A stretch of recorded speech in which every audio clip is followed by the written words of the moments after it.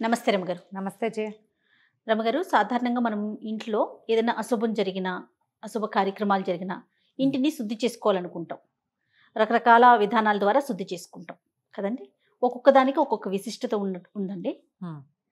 ఒక్కసారి అసలు ఏ విధంగా మనం శుద్ధి చేసుకుంటే శుద్ధి కార్యక్రమం సాధారణంగా పసుపు నీళ్ళు చల్లుతాను జయ. పసుపు నీళ్ళు వెంటనే అందరం చేయగలిగింది పసుపు నీళ్ళు పసుపు నీళ్ళు. చల్లుకుంటాం.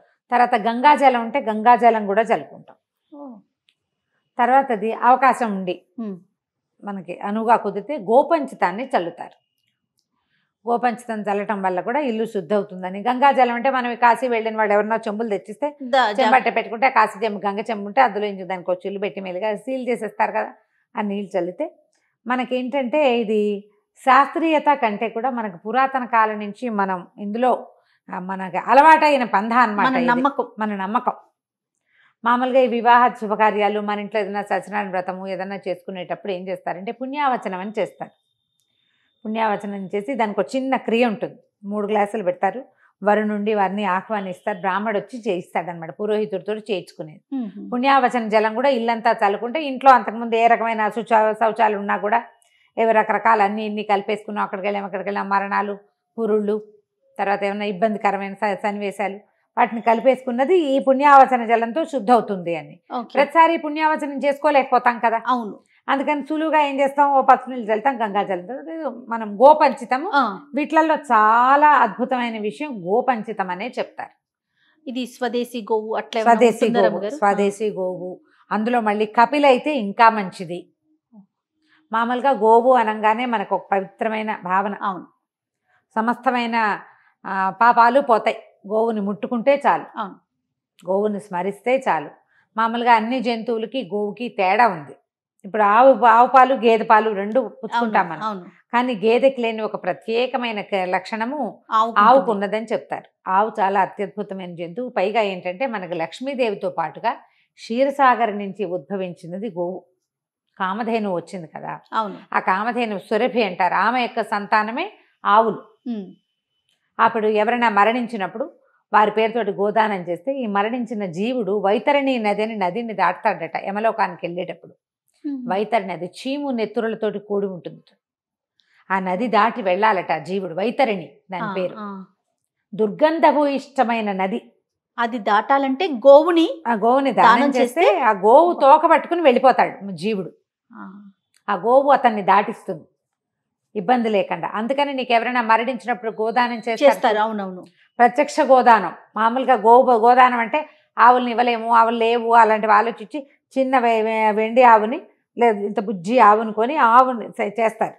శాస్త్రానికి. అలా కాకుండా ప్రత్యక్ష గోదానం. ఆవు దుడ్డు గోవు గోవత్సము ఆవు దూడ రెండింటిని కలిపి దానం చేస్తే గనక అది అత్యద్భుతమైన ఫలితం ఇస్తుంది. తండ్రులకి తాతలకి లేదా నాయనమ్మలు అమ్మమ్మలు మరణించిన వారికి ఉత్తమ గతులు కలుగుతాయని నమ్ముతారు. మనకి మన హిందూ ధర్మశాస్త్రంలో చెప్పబడింది. ఈయనే ఆవుని ఆవు బిడ్డకు జన్మనిస్తుండగా ఆ ఆవు చుట్టూతా ప్రదక్షిణ చేస్తే పునర్జన్మ ఉండదంటారు. పునర్జన్మ ఉండదు. ఎన్ని ప్రత్యేకతలు రమ్మగారు? చాలా ఉన్నాయి. ఆవు గో గోగర్భం ఆవు నిలబెడితే దాని కింద నుంచి దూరు పెడితే గోగర్భంలో ప్రవేశించినట్టు. ఉత్తమ గతులు వస్తాయి. అలాంటి నమ్మకాలు ఉన్నాయి జయ మనకి. చాలా ఉన్నాయి. శ్రీశైలం వెళ్తామా? శ్రీశైలంలో బయట ఒక పెద్ద ఆవు కట్టేసి ఉంటుంది. ఒక ఆయన ఎవరో ఉంటాడు కాస్త కట్టిపెట్టి దాని కింద నుంచి వెళ్ళండి అని చెప్తాడు. గోగర్భంలో ప్రవేశించటం. చాలా ప్రత్యేకతలు ఉన్నాయి. అలాంటి గోవుని మళ్ళీ ఆవుల్లో కూడా ఇప్పుడు మనకి జెర్సీ ఆవులు బాగా అవునవును. ఆవులో ప్రత్యేకత ఏంటంటే సూర్యనాడి ఆవుకి ఇట్లా మూపల్లే ఉంటుంది. మూపురం. ఆ దాంట్లో సూర్యరశ్మి నుంచి ప్రత్యక్షంగా ఆ శక్తి తీసుకుంటుందట ఆవు. అందుకని ఆవు పాలల్లో ప్రాణశక్తి ఎక్కువగా ఉంటుంది. అవునవును. ఆ నాడి ఉన్న గోవు పాలే మంచివి. ఆరోగ్యానికి మంచివి. తల్లిపాలతో కంటే ఆవు పాలు మంచివి తల్లిపాల. తర్వాత ఆవు పాలే శ్రేష్టం. అవును. వేరే జంతువు పాలు కాకుండా ఆవు పాలు అంటే మనం గేదె పాలు అవి వద్దు గేదె పాలు ఫ్యాట్ ఎక్కువ అంటారు కొవ్వు. ఆవు పాలలో ఫ్యాట్స్ చాలా తక్కువ. శరీరానికి అవసరమైనవే ఉంటాయి.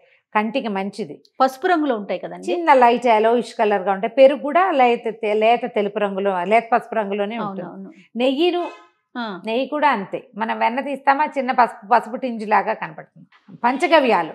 అంటే ఆవు పాలు పెరుగు నెయ్యి. గోమయము గోపంచితము. ఈ ఐదు కూడా దేని ప్రత్యేకత దాందే. ప్రతిదీ కూడా తమ తమ తమ శక్తి మేరకి ప్రాణశక్తిని అందిస్తాయి మనకి. ఆక్సిజన్ తీసుకుని ఆక్సిజన్ ఇస్తుంది గోవు. ఇస్తుందంటారు. అంటే. ఏది ఆ గోవు తను తిన్న ఆహారంలోని చెడేది దాని పాలల్లోకి రావట. ఒక్కొక్క జంతువుకి ఒక్కొక్క ప్రత్యేకత. ఉంటుందమ్మా. ఇది అట్లా పుట్టిన జంతువు మనని ఉద్ధరించడానికి. అంతే. ఉన్న ఆవుల్ని మనం చేసుకోవాలి కదా. అవునవును. అది చూసుకుని ఫలానా ఆవు అని గోపంచితం తెచ్చుకుని ఇంట్లో చల్లుకోవచ్చు. గోమయంతో శుద్ధి చేస్తారు. మనకి ఆవు పేడ పెట్టే కదా మనం. మార్గశిర మాసంలో గొబ్బిళ్ళు పెట్టుకుంటాం. తర్వాత వాకిళ్ళల్లో కళ్ళాపి చల్లుతారు.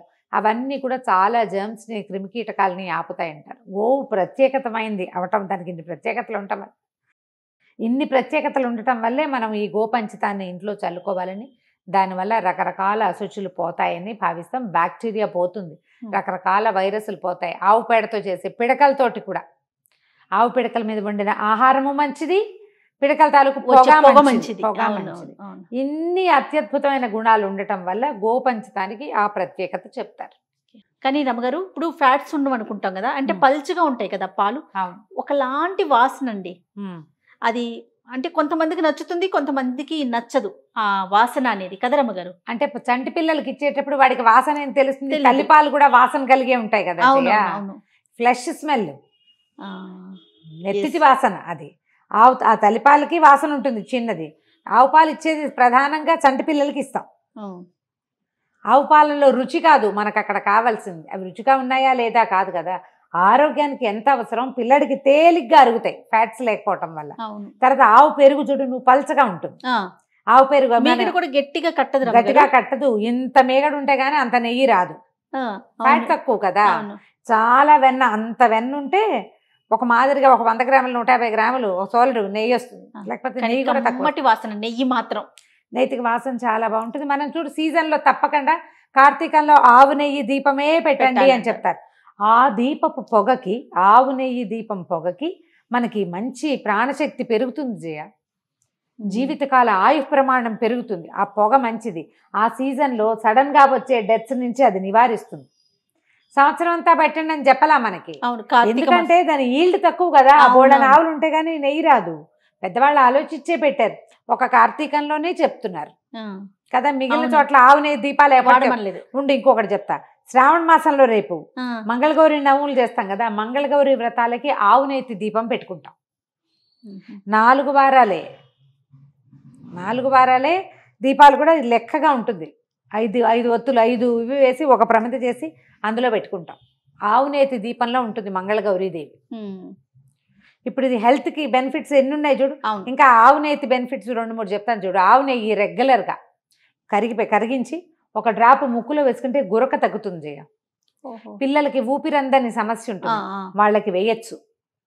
ఆవు నేతితో చేసిన కాటుక వల్ల కంటి సమస్యలు బాగా తగ్గుతాయి. ఆవు నెయ్యి వాడకం వల్ల ఆయుష్ పెరుగుతుంది. జ్ఞాపక శక్తి పెరుగుతుంది జ్ఞాపక శక్తి అదే చెప్పబోతున్నా. జ్ఞానం పెరుగుతుంది జ్ఞాపక శక్తి పెరుగుతుంది. ఎన్ని బెనిఫిట్స్ ఉన్నాయండి మా ఆవుతోటి? అసలు ప్రతిదీ దేనికి అదే ప్రత్యేకం అదే. ప్రత్యేకత నీ కాఫీ టీ అంత బాగుండవు. ఆ, కానీ ఆరోగ్యానికి చాలా మంచివి కదా. బాగుపోవటం అంటే పలచగా అనిపి అంతే. చిక్కగా ఉండదు. అంతే. అంతే తప్ప ఇక రెండోది ఏం లేదు. ఆవుల్ని చిన్నప్పటి నుంచి పిల్లలకి పరిచయం చేయాలి. దేవాలయాలకు వెళ్తామా? అక్కడ కనపడుతూ ఉంటాయి. ఏ తీర్థానికి క్షేత్రానికి పిల్లల్ని ఎక్కడికైనా ట్రిప్కి తీసుకెళ్తే ఒక అరటిపండు కొని ఆ తొక్కు వలిచి ఆ అరటిపండు ఆవుకు పెట్టించండి ఆవులతో చెలిమి చేయిస్తే ఆవుల దగ్గరికి వెళ్తాం. వాటిని వెనక భాగాన్ని ముట్టుకోవటం. అవన్నీ కూడా పిల్లల్లో ప్రాణశక్తిని పెంచుతాయి ఆ పనులు మన పెద్దవాళ్ళు చెప్పేవాళ్ళు అందుకని రోజు ప్రదక్షిణ చేయాలి ఆవుకి అని. గోప్రదక్షిణం చేసిన వాళ్ళకి సమస్యలు తక్కువగా ఉంటాయి. గ్రహ బాధలు ఉన్న వాళ్ళకి కూడా గోప్రదక్షిణం చేస్తే గ్రహాల బాధలు కొంచెం తగ్గుతాయి తొలగిపోతాయి. అంటారు. ఇంకొకటి చెప్తారు. నేను మొన్న చేసి వచ్చాను ఉడిపిలో. ఈ గోశాలల్లో మనకి మంత్రోపదేశం ఏదైనా ఒక్క శ్లోకం చదువుకుంటే అది వంద సార్లు చదివిన ఫలితం ఇస్తుంది. ఓహో. గోవులు ఉన్న శాలల్లో చేసుకునే మంత్ర జపం కానీ ఏదైనా పారాయణ కానీ ఏవైనా మంచి మాటలు కానీ ఇతోధికమైన ఫలితాన్ని ఇస్తాయి. గోవు యొక్క గొప్పతనం అది. అది మనం తెలుసుకుని పిల్లలు కూడా కొంచెం. తెలియజేస్తుంటే పరిచయం చేస్తే బాగుంటుంది. తప్పకుండా నమస్తే. నమస్తే జీ.